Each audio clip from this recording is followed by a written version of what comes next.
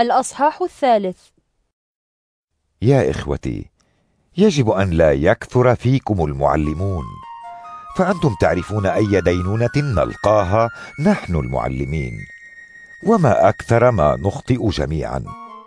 وإذا كان أحد لا يخطئ في كلامه فهو كامل قدير على ضبط جسده كله. خذوا الخيل مثلا. فحين نضع اللجام في أفواهها لتطاوعنا نقودها بجميع جسدها والسفن على ضخامتها وشدة الرياح التي تدفعها تقودها دفة صغيرة حيث يشاء الربان. وهكذا اللسان فهو عضو صغير ولكن ما يفاخر به كبير. انظروا ما أصغر النار التي تحرق غابة كبيرة واللسان نار وهو بين أعضاء الجسد.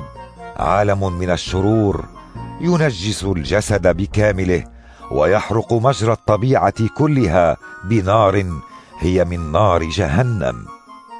ويمكن للإنسان أن يسيطر على الوحوش والطيور والزحافات والأسماك. وأما اللسان فلا يمكن لإنسان أن يسيطر عليه فهو شر لا ضابط له ممتلئ بالسم المميت به نبارك ربنا وأبانا وبه نلعن الناس المخلوقين على صورة الله. فمن فم واحد تخرج البركة واللعنة وهذا يجب أن لا يكون يا إخوتي. أيفيض النبع بالماء العذب والمالح من عين واحدة؟ أتثمر التينة يا إخوتي زيتونا أو الكرمة تينة؟ وكذلك النبع المالح لا يخرج ماء عذبا.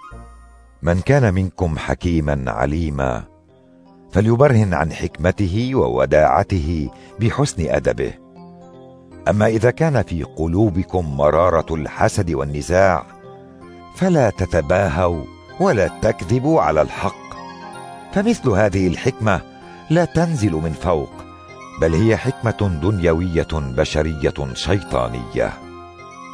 فحيث الحسد والنزاع هناك القلق وكل أنواع الشر.